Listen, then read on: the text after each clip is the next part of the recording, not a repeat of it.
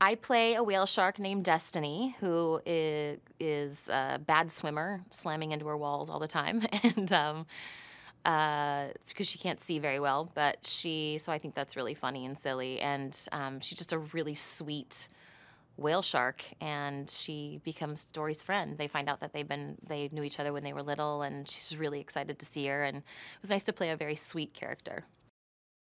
Ty Burrell plays Bailey, and Ty is such an extraordinarily funny, kind uh, person with a really distinct voice. And I love what he did with the character. It's hilarious. The way he practices finding his echolocation makes me laugh every time I see it.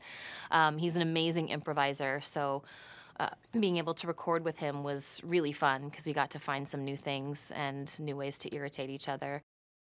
Dory gets just plopped into Destiny's pool. She just appears there at some point, and um, she immediately kind of helps Destiny swim straight. And um, they instantly become friends and find out they've known each other for a while and start speaking whale to each other and they're very excited to see each other. And when she find when Destiny finds out she's looking for her parents you know she wants to do everything she can to help her out. But since Destiny can't see very well um, she has to rely on Bailey and his echolocation. And so they're all sort of working together to help her uh, find her parents acting for live action, I feel totally responsible for the entire character. Um, acting for animation, because I am able to see clips every time I would go in, I would see what they had done, and I felt like I was getting ideas from them. Um, for the character by how she was animated.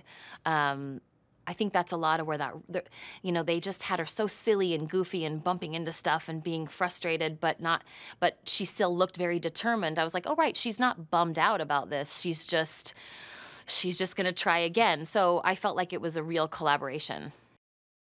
It's a wonderful sequel. It's got, it's got the same heart, it's got the same sense of humor. Parents will like watching it because it's funny, um, it's unpredictable, it's exciting, and it's very sweet. And it's a it's just a really great family movie. I'm excited to finally be doing something that my kids are able to watch. So, um, as a parent, I'm really excited as well.